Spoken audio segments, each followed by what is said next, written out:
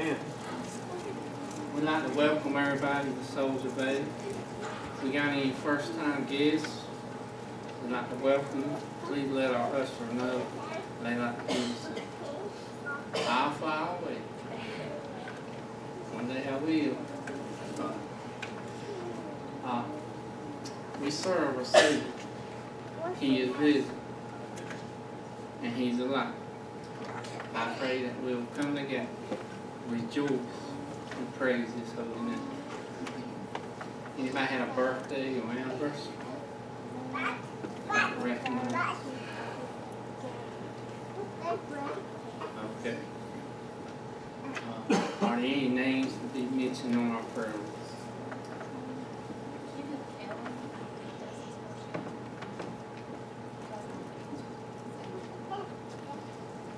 On that? like to keep, uh, the Gore and Willie family in mind this morning. Thomas Gore, their grandfather passed away this morning. Yes. Any more? We need to remember Hughes next.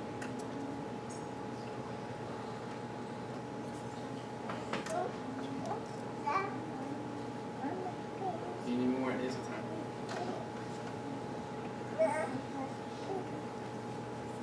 You want to mention?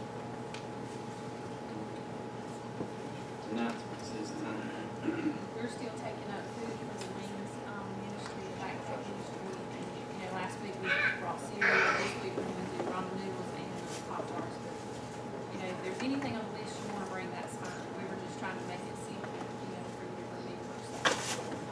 We appreciate all y'all done. I encourage you to take a bulletin home. That's got all our announcements in. God bless.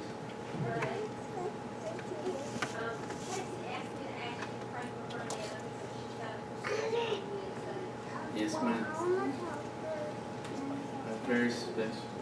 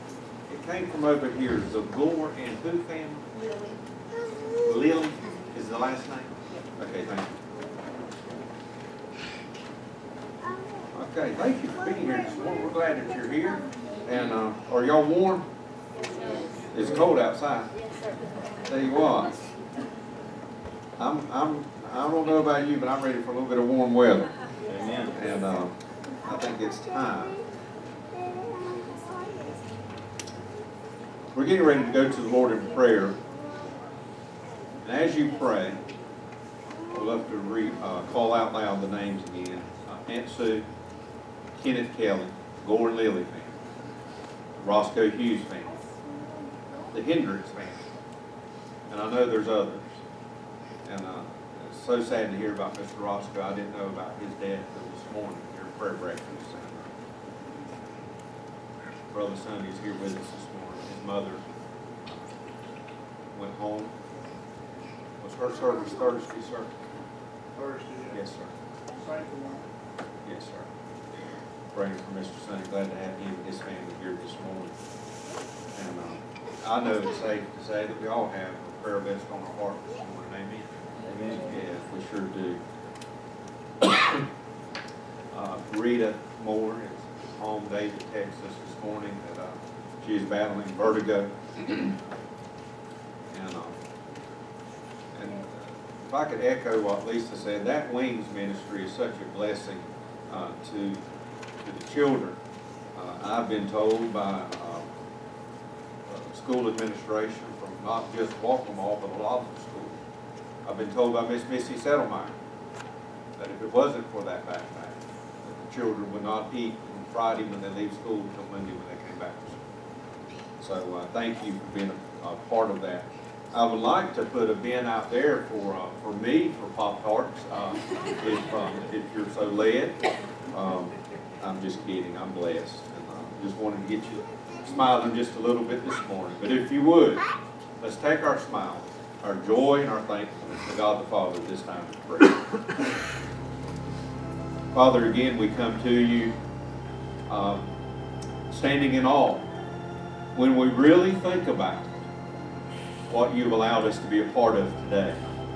And that's coming to your house of worship uh, to worship you. And Father, it's for grace we come, and it's for grace we receive from you. Lord, we just want to pause. And Lord, I pray right now that we literally pause, bow our heads, bow our hearts to you, and spend time in this prayer together.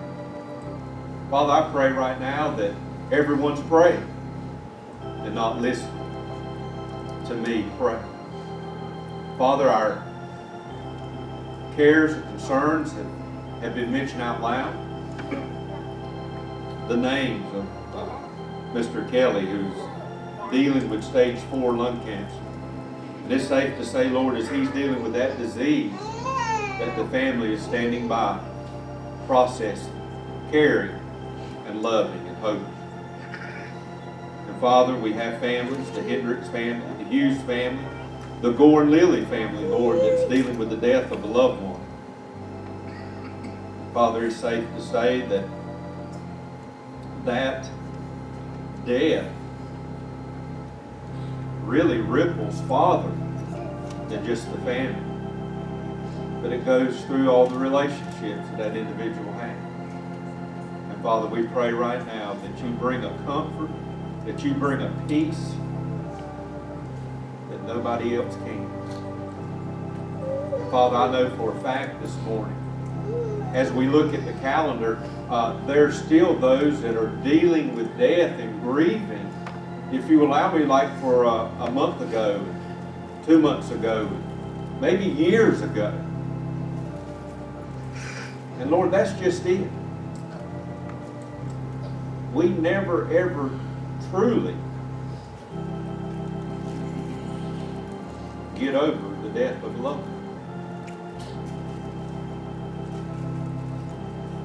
But Father, you're a God of comfort. You're a God of healing. You're a God of restoration. But also, Lord, you're a God of promises. That you've given to us and you've extended to us through your word of where our loved ones have gone, those that believe. Father, you've given us a way. That's why we go back to grace and we go back to mercy.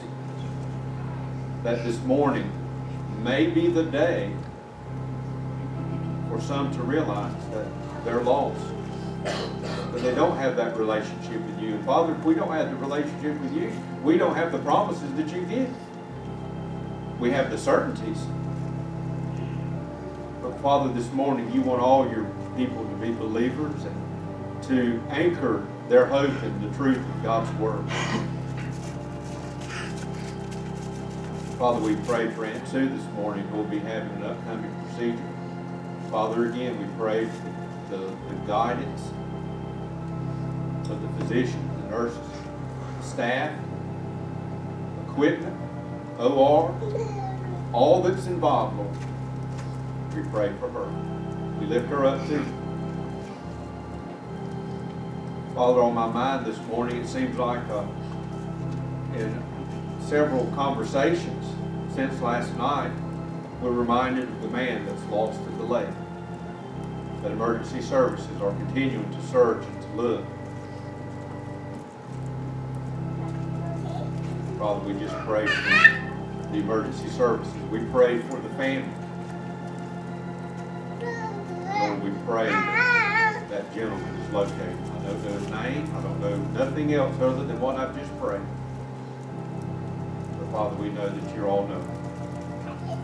You can provide what's needed. So Lord, in speaking of that providing, will you give us this morning what we need? Father, will you remove anything that's a stumbling block or a hindrance to receiving that what we need? And Father, as we continue to praise you with song of those promises that one day we'll fly away because there's victory in Jesus. As we continue to worship, we open the Word, the choir sings, we give, we pray. We ask for your anointing from on high. Father, we ask and we're grateful for those that are here. Father, we pray for those that are not here for whatever reason. And Lord, this morning, what would mean more than anything is you being a part of this service as we continue. Father, we pray for that only the Holy Spirit to be here among us. Father, it's safe to say that as the people sit out there this morning, that around 8 o'clock this morning, where they're sitting, has been prayed for. The person has been there in prayer, has sat there, or has walked by. Father, this day has been saturated with prayer. We know you're obedient when we pray, and we pray that we're obedient when you move. Father, we ask that you bless as we turn our hearts to the offering, our tithes. Father, we pray for the offering that's going to be received today, that we use it to advance your kingdom, the gospel. Father, we ask as always that you bless the gift, multiply, bless the giver, extended them blessings, Lord, for being obedient. And move in a way this morning, Lord, that we not only think about our time, but we think about what we do for you. Knowing we'll never outdo what you've done for us. Again, we go back to grace. Father, thank you for spending this time with us in prayer. Thank you for hearing. Thank you for your answers. Father, every second that's left, every second that's left with this service, may it be pleasing to you. Father, will you smile upon us this morning? Will you show your face? We pray that you do. We pray that we see it and feel it. Father, as all things are asked in that name that's above every name, the name of Jesus Christ. It's in that name we ask this prayer. And everyone said, Amen.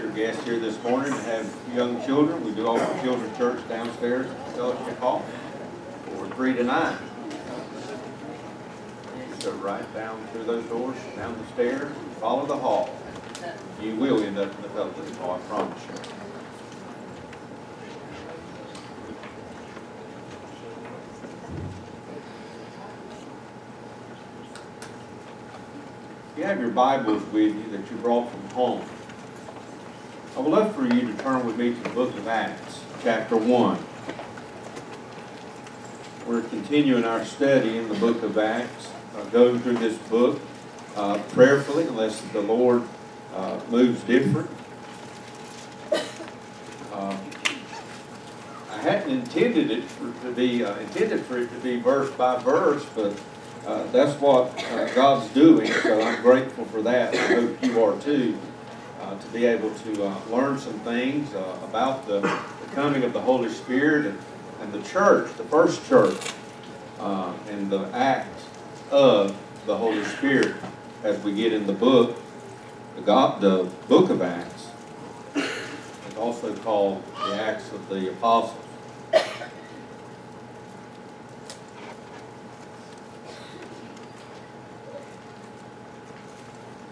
got something really on my mind this morning, and I've been praying, and I'm just going to confess to you, I spent a little bit longer in prayer about some things, and mainly this sermon, and I just want it to, uh, I want God to bless, and I want me to, uh, to be removed and get out of the way.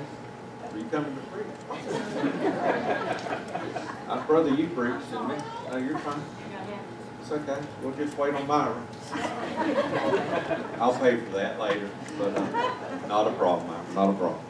But um, where was I? Oh, something about how God moves. Myra interrupted. Um, um, but seriously, I'll pay for that later. I just got something on my heart this morning, and, and I really, my prayer really, really, is that you just, please, I want you to set aside everything this morning that you've got going on.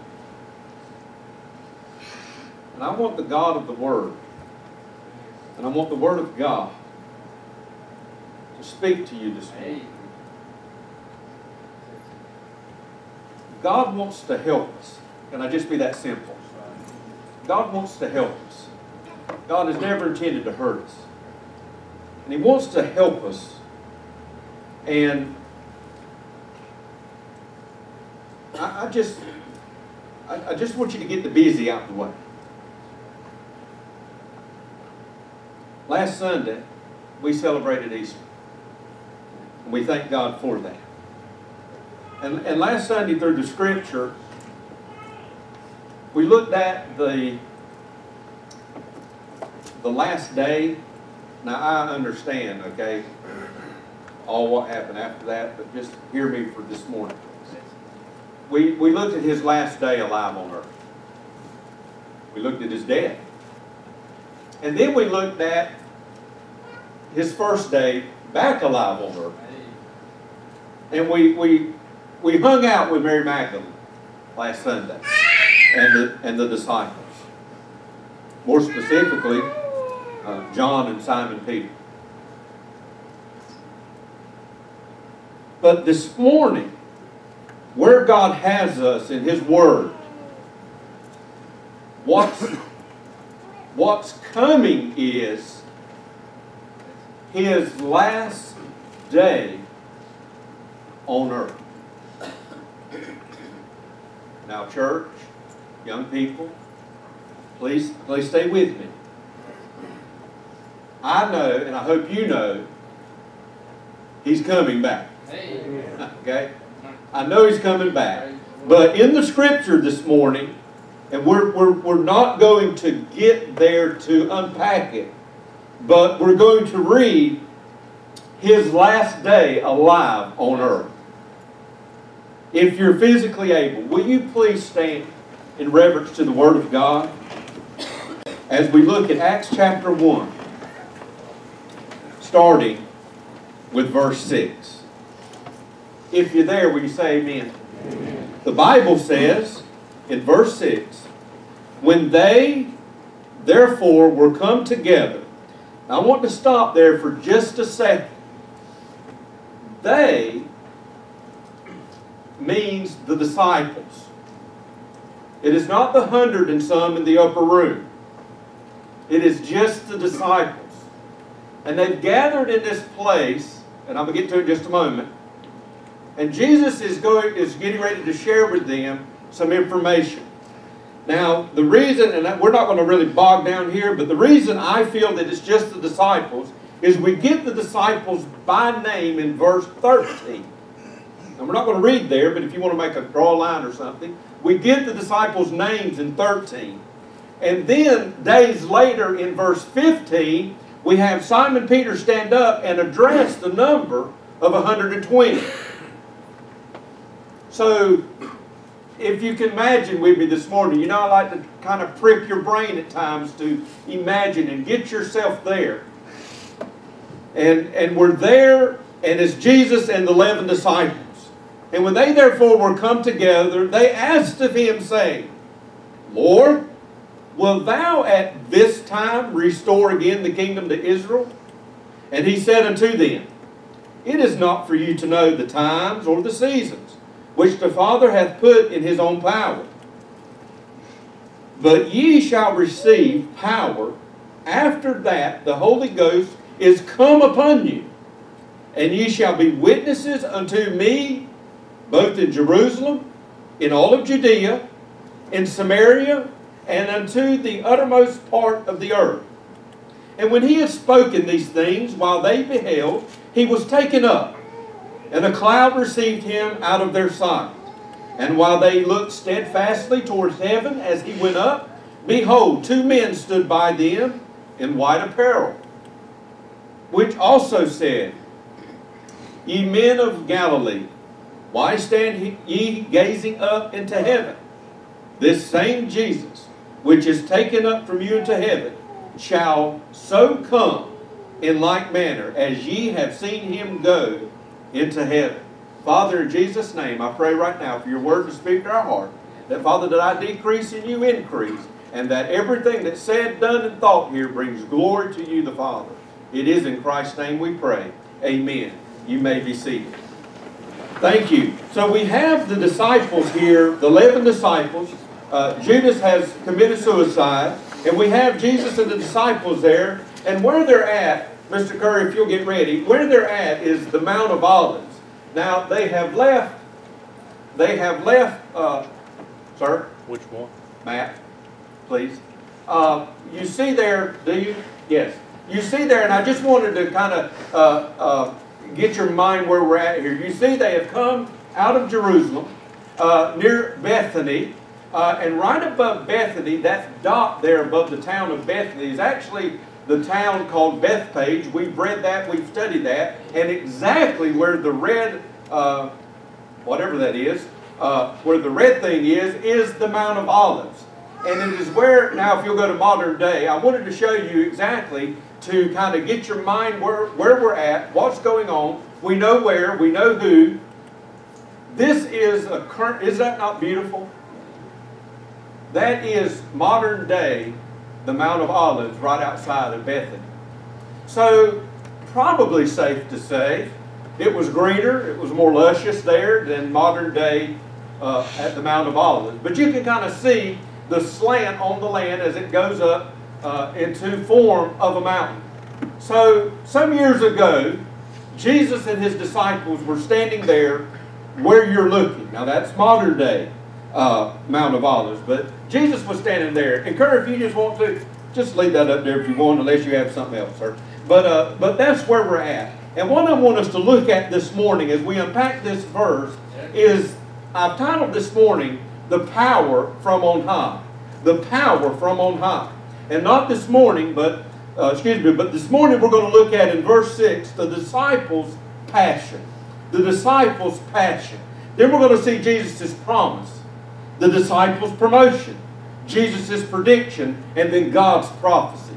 And that's the lineup as we'll be moving through these verses. But in verse 6, I want you to understand that we're looking at this morning the disciples' passion. And in verse 6, the Bible says, When they, therefore, were come together, they asked of him, saying, Lord, will thou at this time restore again the kingdom to Israel? We are looking at the disciples' passion. Now, I want to ask you a question this morning. As we unpack this verse, I want to ask you, what are you passionate about this morning? What are you what do you care about this morning? I've asked you to clear your mind. I've asked you to get our busyness away from us this morning and solely concentrate on the message from God and God's Word, from God's Word. We see this morning, have you ever dealt with anybody in, your workplace or even at home or whatever, and you've explained something to you, and then they give you this look, you understand what I'm And so you explain it again, and you still get that look. So you know you just really got to break it down to just small, small, small, small particles so you can explain what you really want somebody to get. And sometimes they, uh, they, they, they, just, they just don't get it. Uh, uh, Toby and I were in the rescue squad with a lady, and uh, she was a dear lady. She's already gone on to heaven uh, to be with her Lord, and, and uh, she was a, an intermediate, and we, we would have continuing education at the rescue squad, and we'd bring in train uh, instructors in the rescue squad, and, and uh, the instructor, he or she would explain something, and uh, we could, there's, it, there's always that one person, right? okay, dear lady, dear lady, and, and she'd go, after it was all over, she'd go, I don't get it. So the instructor would go at it at a different angle, and we'd all look at this dear lady. And we could tell by her face if she got it. And she'd go, I don't get it. So I have always remembered to say every now and again when I just don't understand something that's trying to be explained to me, I always say, I don't get it in her memory. But can I share something with you this morning? The disciples didn't get it. They didn't get it. They are still dealing with their passion. They are still dealing with themselves. They are still waiting and wondering what in the world is going on. And, and can I, can, can, you'll be put it modern day vernacular? What's in it for me, me, me, me, me? That's what, and I'm going to tell you, when you're thinking about, when you're looking at what's in it for you, that is your passion. It's you. So we see this morning the disciples' passion. But, but, I just want to ask you a question. This isn't preaching. I'm just going to ask you a question. Are you thankful this morning that Jesus is patient when we just don't get it? Can somebody say amen? We need to thank God for being patient with us when we just don't understand something, when we just don't get something. And it was in this study that I came up with this. This is an original thought. Emily, if you want to tweet it, I'd love for you to and quote me. But this is an original thought that I had. Your depth of patience equals the width of your love. The depth of your patience equals the width of your love. Are you patient with some people, but not others? Some of you in customer service, you deal with some customers over and over and over again. Some of them you're very patient with. Some of them take all the life out of you when you see their face. Your children. Some of us are more patient with our children than we are anybody else. Maybe it's your spouse. You're more patient with your spouse, or let me say, you should be more patient with your spouse. And a lot of times I think the pay, the level, the, the depth of your patience equals the width of your love. And I, Tyler, I think we can put that on God. Because God You can say what you want. God is very patient with the church today. God is patient with the non-believers today. And if you're sitting here this morning, if you're sitting here, I'm just going to go and preach a minute. If you're sitting here this morning and you are not saved and you're still drawing breath, you need to thank God that He's patient with you. He has extended to you mercy. You are still alive by the grace of God. And you might need to change some things this morning with God. And Jesus has shared with them. Jesus had shared with them. Jesus had shared with them numerous times what was going to happen. And they still looked at him. They were still thinking and asking, uh, Lord, uh, I'm just asking, uh, just curious about something. Um, are things going to get better for us? Can I put it in very simple terms? This might not even be, um, I know it's biblical, but my word usage may not be all that correct. But I want to break the history right down for you from the Bible. At this point, the disciples thought the Son of Man, the Messiah, was going to be their new governor. They knew the Son of Man. They knew the Messiah. But they didn't know the Son of Man and they did not know the Messiah. And you may be here this morning knowing this Jesus that we've talked about, that we have sung about this morning, but you do not know Him as far as a personal relationship with Him. And if you don't know Him, you're not getting the blessings and the benefits from Him because of your passion. Because of your passion. You see, Judea at one time was under their own power. They've been stripped. This is just a little history, so it kind of sets the tenor, the tone of what's going on. Of why they're still confused. Of why they're still wondering and worried about their governor. You see, they've been stripped of their power. And because of that, they were now under the Roman rule. And they just didn't like it. Let me make it modern day for you. I've heard some people say, and I don't care what's on your, I don't care your political party. I really don't. Honestly, I do not care. But I want to share with you something. It's like, uh, and I'll just use these two because they're recent. It's like Barack Obama was in office, and some of you supported him as president.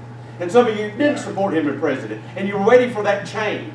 And now, today, we find Donald Trump in the office. And some of you support him, and some of you don't. And you're waiting for, uh, you're waiting for my president to get in office. And that's exactly what the disciples were doing. And can I just say parenthetically, regardless of who's in office, you better be praying for them? Uh, but anyway, they had been reduced to a Roman province. And so that put them under the Roman rule and under the Roman governor. And they were just simply waiting for a new governor. And they just knew. They just knew it was going to be Jesus. But what was, what was very fuzzy here, and I want to I want to preach this. What was very fuzzy here and funny, but not comical at all. But they were only worried about their life on earth. They were not concentrating on their eternity. Now wait just a minute, because that'll preach. What are you passionate about this morning?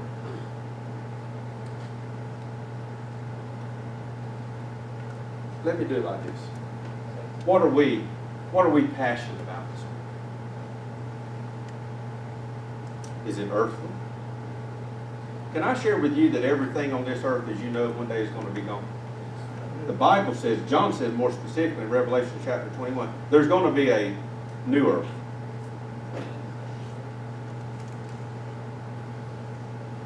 What are you passionate about this morning? Today, I just want to ask you, I've asked you to clear your mind. Today, have you thought about the day or have you thought about eternity? See, they were thinking about today. What are you, what are we so caught up in about today? Brother Don, shouldn't we have a passion for eternity? for eternity. Your passion is either about yourself, me included, or your passion this morning is about others. Now wait just a minute. Wait just a minute. I want you to understand something. I don't know a lot, but I know a little bit. I'm not talking about the passion of others. Now watch this. I want to show you something. I'm not talking about you being passionate about your spouse or your fiance. I'm not talking about you being passionate about your children. I'm not talking about you being passionate about your grandchildren. Now watch this. Some of you are going to faint.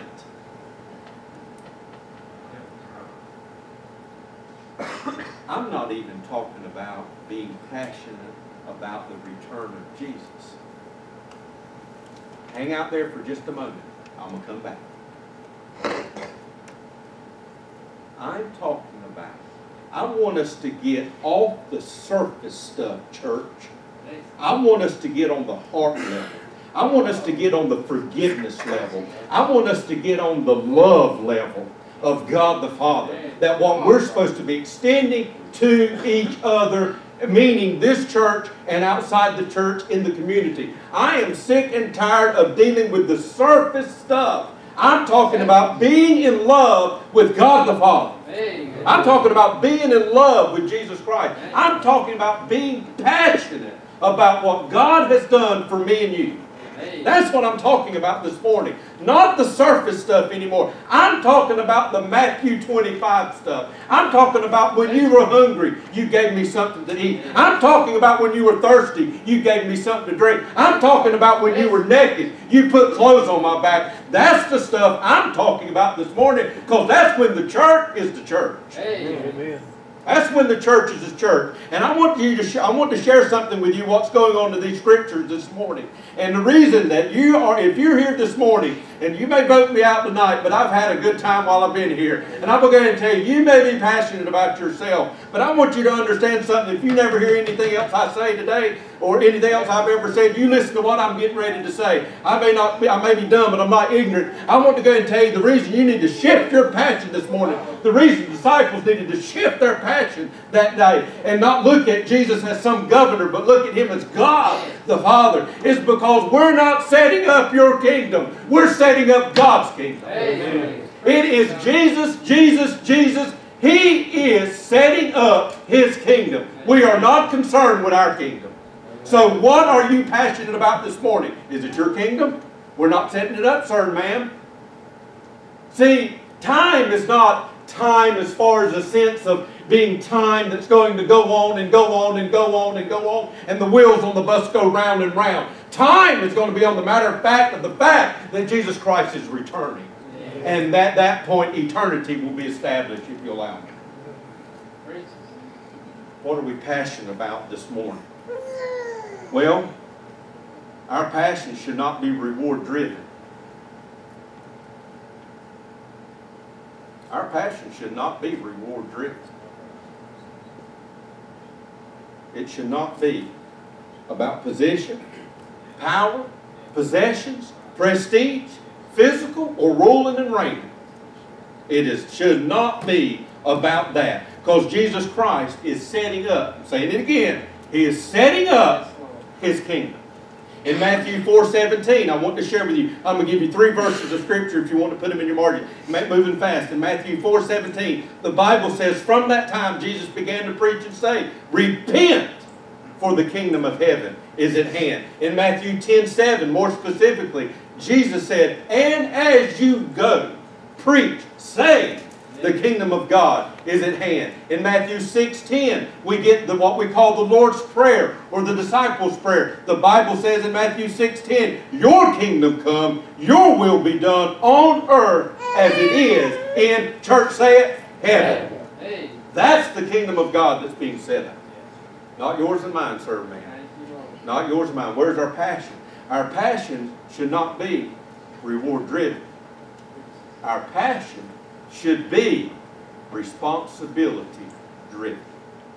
Our passion should be responsibility driven. Now, there's one thing that really, really bothers me. And I know there's things that bother you. But the one thing that bothers me is people today not accepting responsibility.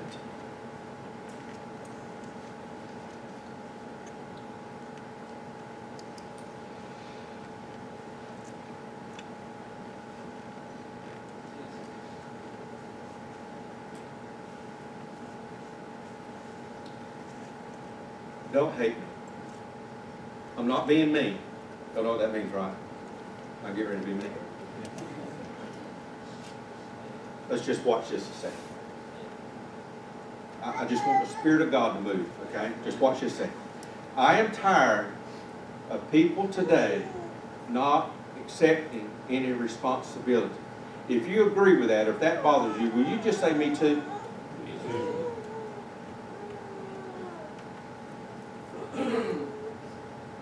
You know what should bother us more? Is Christians not accepting their God-given responsibility. Does that bother you? I'm just asking. Or are we shucking off our responsibility to someone else? The responsibilities that's been given to the Christians by Jesus Christ should bother us when we do not do them more than people not accepting responsibility for their actions. It's time for the church to have a passion about our responsibilities. See, the disciples were still not getting their responsibility. So in verse 7, and I'm closing. In verse 7, and I'm going to unpack this more tonight, and I pray you'll be back. We have Jesus rebuking the disciples.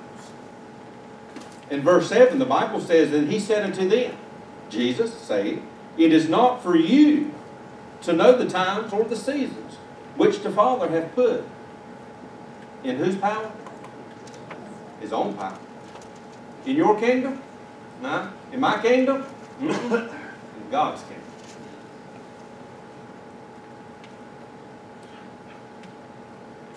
Easter, the Sunday night before Easter, I went, as soon as we were done here, I went down to Zion and watched their Easter drama. And a lot of the church family here went. And poor old Landis. At the end of the Easter drama, bless his heart, he preached the gospel. Got real. He was scripture. As always, he was saying. And it was so real, Miss Judy. Rhonda drove that night. We met here and then we rode down together to Zion. On the way back, I dropped Rhonda off. Actually, I opened the door and pushed her out. I'm just kidding.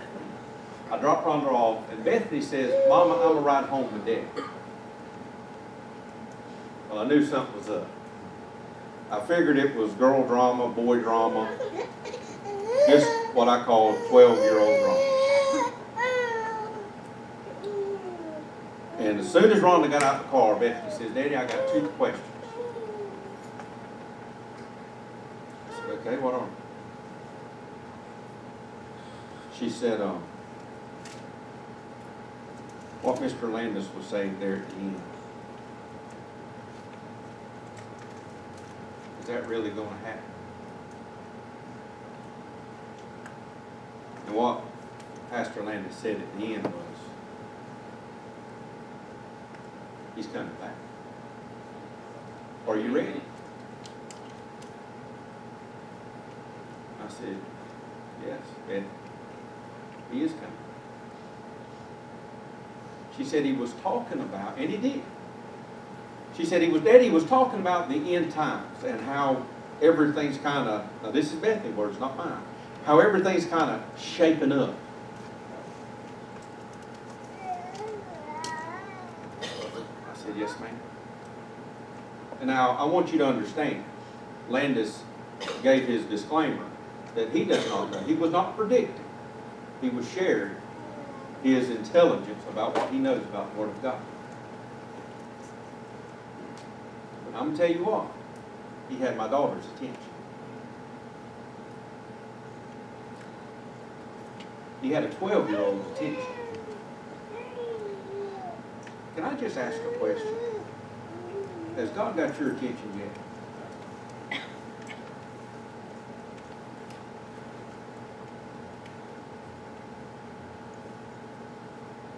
Said, Bethany, I said, I know at 12 years old, because I'll tell you, honey, at 43, Joey, there's times I want to go on heaven.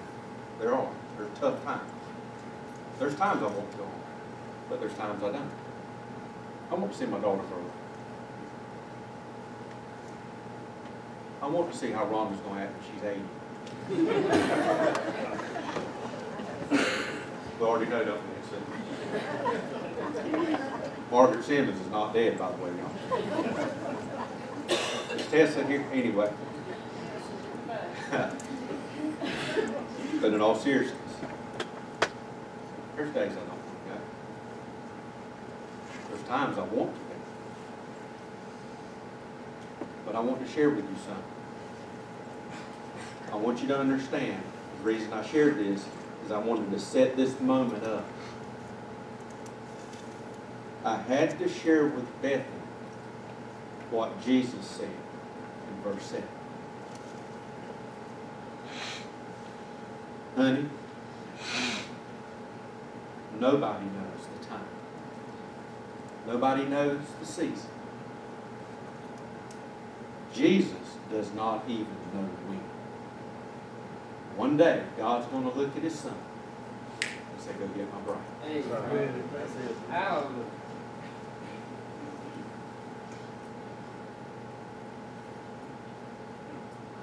Is that your passion this morning? Is what my passion this morning, Jason? May I put it like this? When Dwight L. Moody was in London during one of his famous evangelistic tours, several British pastors visited him. Now listen, please. I've already told you I'm done. But I still need you to get rid of the busy. Several British pastors went to see him. And Miss Fay, they asked him, they wanted to know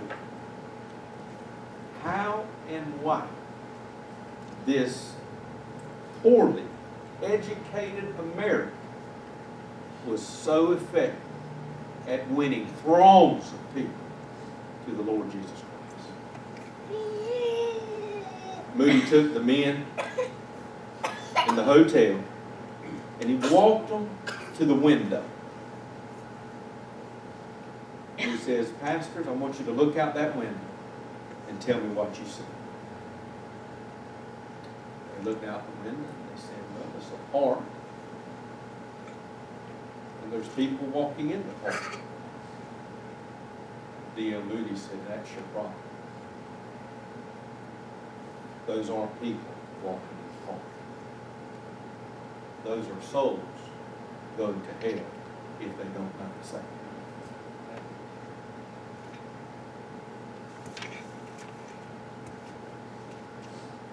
My question is, who was poorly educated? See, that should be our passion this morning. Jason, I cannot do that. Why not?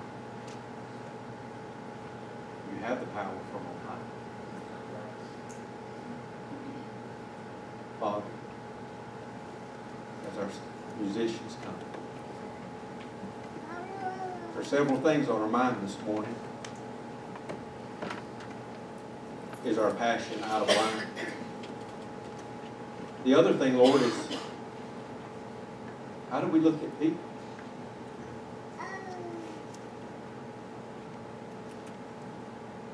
Father, another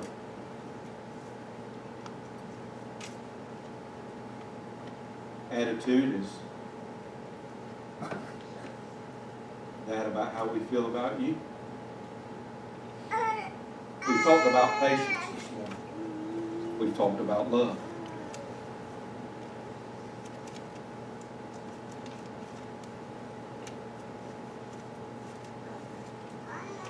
Father,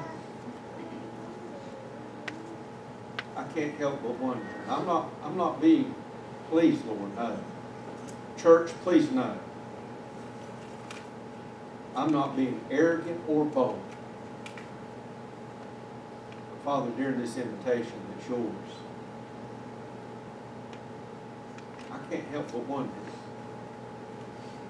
will anybody be in heaven because of me?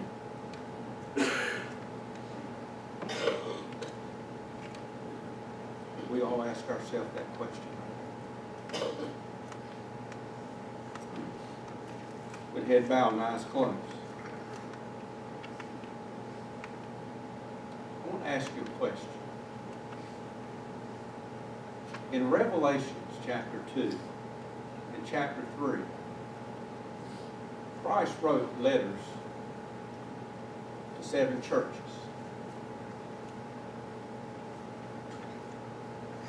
He told them their weaknesses, told them their strengths. But I couldn't help but wonder this morning, Soldier Bay. I know the divine inspiration of writing is, is over with, but His Word is still timeless.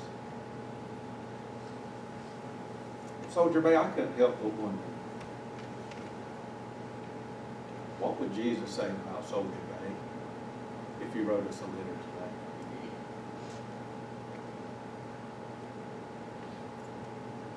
Father, thank you for this time. Have your will and way. Christ's name we pray. Amen. Ladies and gentlemen, you've heard the, the invitation. I just pray that you're obedient. Maybe you're here this morning and you're wanting to make Soldier Bay your home church. I will share with you that we want you here if you feel like that's where God wants you to be, or here's where God wants you to be. Will you please recall the invitation? The altar is open. Are you saved? Do you have a relationship with Christ? Have you backslid? What does that mean? Are you in love with Jesus today more than you were yesterday? If you're not, you backslid. Will you please stand?